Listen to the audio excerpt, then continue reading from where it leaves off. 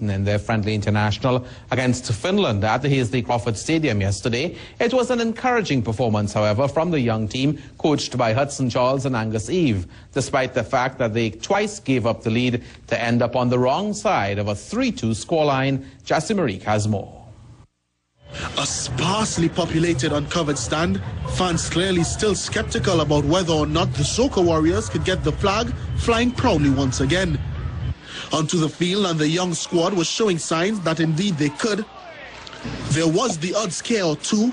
For instance, the skipper Marvin Phillip beaten to the second header, but backed up by his defense. For the most part, though, the Warriors looked able to hold their own. This raid was reason for excitement.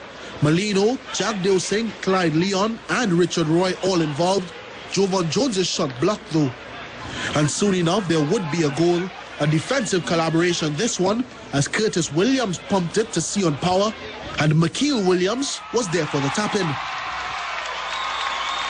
But before the small Hasely Crawford spectatorship could quieten, Finland hit back. Riku Riski with the spectacular volley, one all at half-time.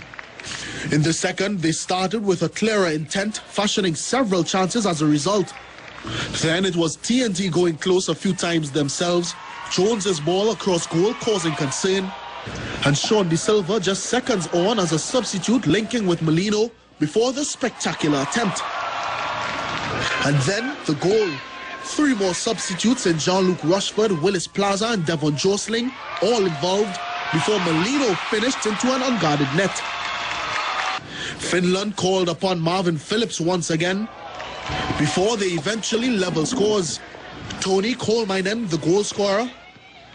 And the comeback completed in the 78th minute as Ääritalo scored a diving header from seven yards out. Finland going on to record a 3-2 come from behind win. Reporting for CNC3 Sports, I am Jassy.